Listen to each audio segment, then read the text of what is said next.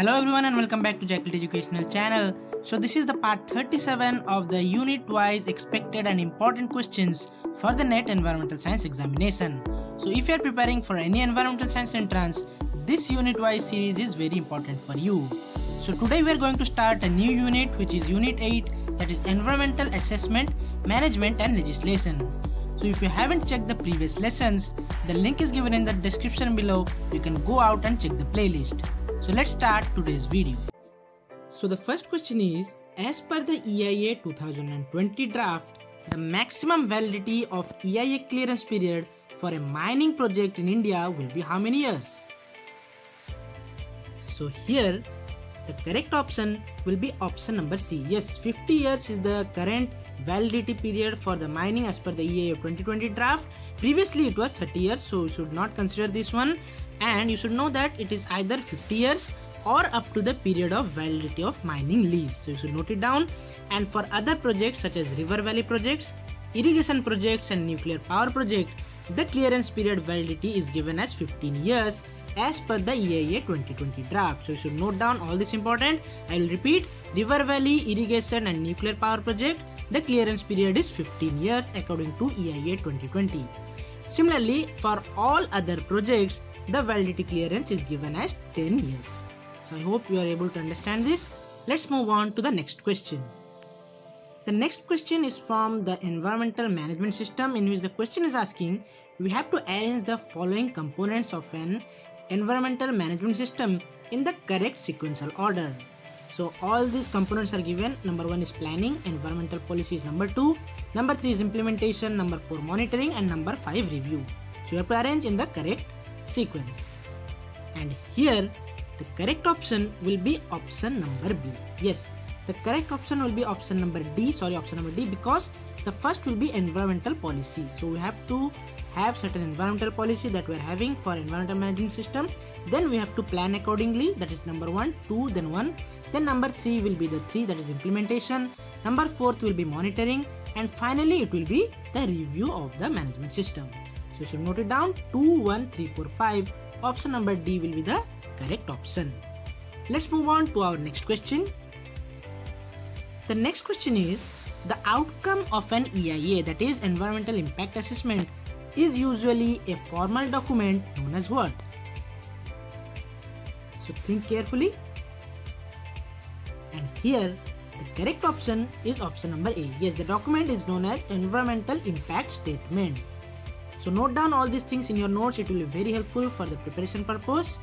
Time for the next question. The next question is the protection and improvement of the environment and safeguarding of the forest and wildlife by the state. So I am repeating it is written by the state is emphasized in Constitution of India under which of the following article? So here the correct option will be option number A. Yes, according to the article 48A, it is the duty of state to protect all this forest and wildlife. But according to the article 51A, you should note it down, it is the duty of the citizens to protect and improve the natural environment including wildlife, forest and everything. So 51A will be for the citizens, 48A will be for the state. Next you have to know that what is article 47. So article 47 states that the state is to ensure the primary duty of raising standard of the living people, to increase the nutrition level of the people and to bring improvement in the public health. So these are all coming under article 47. Similarly article 21 is also important because it is the article known as right to life. Moving on to our next question. The next question is which is the eco label of India? So all these four are given and you have to select the correct option. And here the correct option will be option number B. Yes, eco mark is the eco label of India. Similarly, Blue Angel, that is not Angel Pia, so Blue Angel is the eco mark for Germany. Next is Green Seal. So what is Green Seal? Green Seal is actually the US member and co-founder of Global Eco Labeling Network that is GEN you should remember and similarly Eco Guarantee is the non-profit organization which is having the non-GMO biodegradable and all this label are given by Eco Guarantee. You should note it down. All these four. Moving on to the next question. The next question I hope you all will be able to understand and answer because it is very frequently asked question. The question is which category of projects do not need EIA clearance? So which of the following projects are not having the clearance? So here the correct option will be option number B that category B2 projects they don't require any environmental impact assessment clearance. Moving on to the next question. The next question is what is the full form of SEA that is C in environmental assessment? So here the correct option will be option number A. Yes, the full form of SEA is Strategic Environmental Assessment. Time for the next question. The next question is which is not a stage in LCA that is life cycle assessment.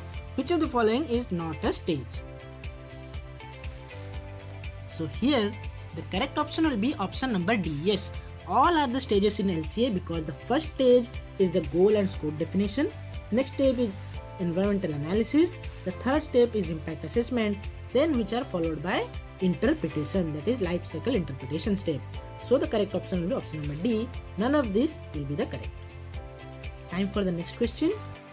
The next question is the Basel Convention on Movement of Hazardous Waste was adopted in which of the following years? And here the correct option will be option number B. In the year 1989, the Basel Convention was adopted, which is restricting the movement of hazardous waste among the countries. Time for the next question. The next question is what is the correct feature of Battelle Columbus? So read every options correctly. And here the correct option will be option number D. Yes, Battelle Columbus is actually an environmental evaluation system. It is also called as BEES that is Battelle Environmental Evaluation System and it is for water resource planning. So you should note it down. It is for water resource planning and important thing I'm telling you that it is having 78 parameters. You should note it down. It has been asked how many parameters are there under Battelle Columbus. You have note it 78 parameters are there, 18 components are there, and 4 categories are there. Time for the next question. The next question is the definition of air pollutant as per section 2A of Air Act 1981 includes which of the following substances? Here from the question also you will get the notes because it is mentioned Air Act 1981. So you should note it down. Air Act was in 1981. So now we will know what is the correct option and correct option will be option number C that is solid, liquid and gaseous substances including the noise is under the Air Act 1981 as the definition of air pollutant. So these all four things are air pollutant. Time for the next question. The next question is again from the Air Act. The question is under the Air Act 1981. Which body is empowered, which is having the power to set standard for the ambient air quality? And here, the correct option will be option number C. Central Pollution Control Board has the power to set the standards for the ambient air quality. Time for the next question. The next question is, which legislation in India makes it compulsory to obtain prior approval of the central government for diversion of forest land into forest purpose तो अगर कोई forest land है उसको अगर forest purpose के लिए use किया जाना है तो कौन सा चीज़ कंपलसरी है विच एक्ट के अंदर कि सेंट्रल गवर्नमेंट से अप्रूवल लेना चाहिए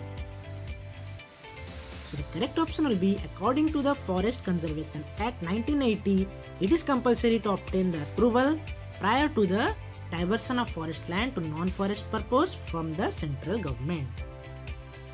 Let's move on to the next question. The next question is which Bharat stage is skipped in India? So these Bharat stage are for the automobiles and here the correct option will be option number C. Yes, Bharat stage 5 is skipped because previously it was Bharat stage 4 and now all the automobiles are running according to Bharat stage 6 that is BS6. Time for the next question. The next question is from one of the important acts that is when was traditional forest dweller or forest right act enacted in India? And here the correct option will be option number D. In 2006, this Forest Dweller Act, that is Traditional Forest Dweller Act, was enacted in India. Let's move on to the next question. The next question is which of the following prompted the government of India to enact EPA that is Environmental Protection Act in the year 1986? So कौन सा वो situation था tragedy था जिसके द्वारा government of India prompt हुआ कि environmental protection act होना चाहिए हमारे कंट्री में so here the correct option be option number B Bhopal gas tragedy which took place in the year 1984 during the nights of 2 and 3rd December 2nd and 3rd December that prompted government of India to enact Environmental Protection Act of 1986 so you should know here endosulfan tragedy occurred in Kerala. Because of the use of the endosulfan pesticide many lives were affected and premature death maturity level decreased in the humans. So that's all was there in kerala by use of excess of pesticide containing endosulfan which was later on banned by the government. Let's move on to the next question. The next question is composite impact by superimposing maps is related to which of the eia methods so here the correct option will be option number C overlay. Yes, overlay analysis is having the superimposing map. For example, one map is having the hydrological data. It will be superimposed. That means placed through the technical that is technical effect we have to place other map which is having the forest and we will know what are we have to going to analyze and you will get the result by putting one map on other map that is superimposing of maps time for the next question the next question is According to the Public Liability Insurance Act 1991, the enquiry of an application for the relief is conducted by whom? So here also you can note it down that 1991 the Public Liability Insurance Act was enacted. Coming to our question, the correct answer will be option number B. Collector has the duty to inquire if an application is there for the relief purpose. Time for the next question. The next question is the UN Convention of Law of Sea was signed in the year. So this is not SEA Strategic Environmental Assessment. It is asking of the sea which is having water. So the correct option will be option number A. In the year 1982, the UN Convention of Law of Sea was signed for the purpose of protecting the seas. Time for the next question. The next question is the decision making process in the environmental impact assessment generally does not include what? The four methods and four aspects are given and here the one which is not included in the decision making process of EIA is option number D operational management. Yes, cost benefit analysis, socioeconomic aspects as well as procedural information are included in the decision making process but this process that is operational management is not considered under the decision making process of EIA. So here we have discussed 20 important questions which are expected and important for the unit 8 and I hope you liked it. If you want more such videos then like the video, share it with your friends and subscribe to the channel to get further updates.